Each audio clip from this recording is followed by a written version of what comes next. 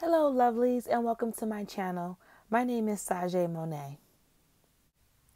During today's video, we'll be discussing on how to start your femininity journey and different tips.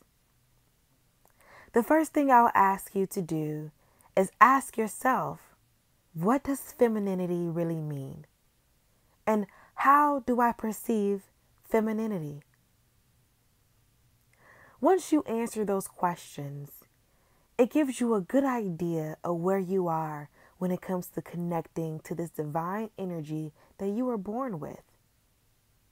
You see, feminine energy is something that is either cultivated, nurtured, or suppressed.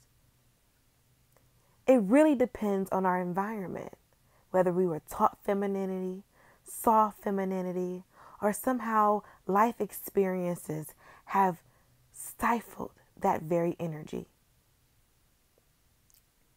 Whichever the one, everyone can start the journey to femininity. Femininity isn't just about how you look, how you dress, or how you even talk. Femininity and feminine energy is light, it's nurturing, it's playful, it's fun, it's insightful, it's caring, and overall, it's an intoxicating essence. Have you ever wondered about the woman who walks in the room and commands everyone's attention without saying a word? Or the woman who makes everyone happier or more comfortable in her presence. The one that gives great advice, is level headed when it comes to her emotions, is a great listener, and is someone who just all around exudes positivity. See, those are the traits of femininity. And when you choose to start the journey, there are key things that you should keep in mind. These tips are to take stock in the relationships and the connections that you have. What does your social circles look like? What does your overall network look like? Is it a reflection of you and where you want to be?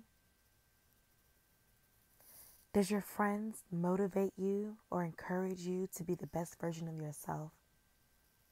Or do they make you feel bad for wanting to level up and experience new and different things? You see, your connections and your relationships shape your journey and your perception of yourself. You see, when you connect with others, you become what you associate yourself with.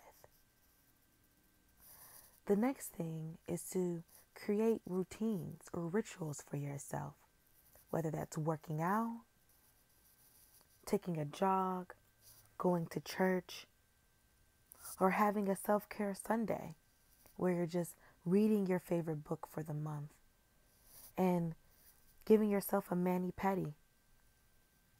Maybe later followed with a meditation and journaling. Do the things that keep you centered and honed in on your divine and feminine energy. The last tip I would tell you is to dress how you feel. When you work on yourself and you establish a self worth and a self care, it's inevitable to look the part.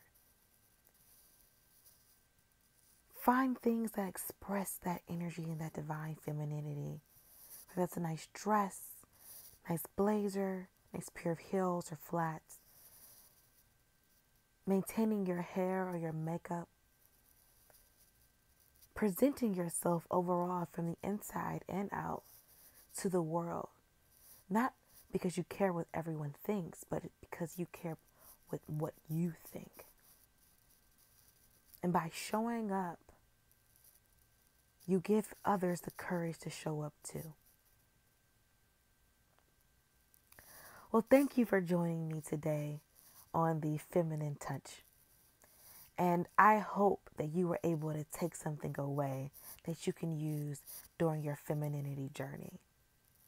I look forward to connecting with you next time.